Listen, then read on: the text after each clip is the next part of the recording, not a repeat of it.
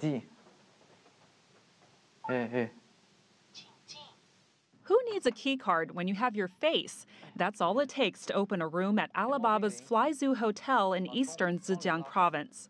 Sam Wong and his grandparents are among the first guests.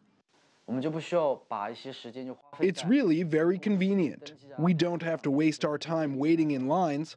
Stepping inside is like stepping into the future. A smart speaker controls the room's lights, TV, and curtains. But it doesn't end there. Customers can check into automatic machines in the lobby, and robots offer meal delivery, or they can serve you in the restaurant and pour you a drink.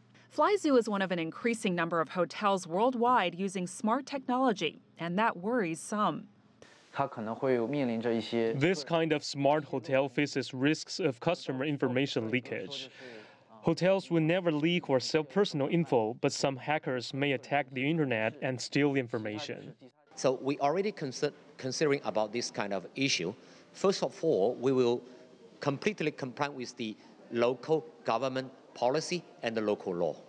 That is one. The secondly, with our system capabilities, because you know all of our system we are cloud-based, we have more and more strong capability to protect those data and the privacies from our individual guests. There's also another issue of security, job security, that is. Could robots replace human employees?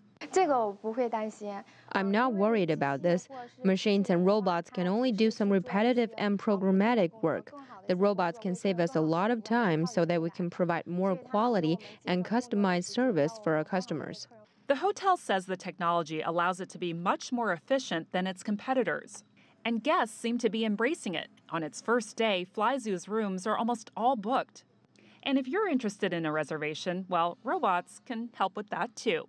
Frances Kuo, CGTN.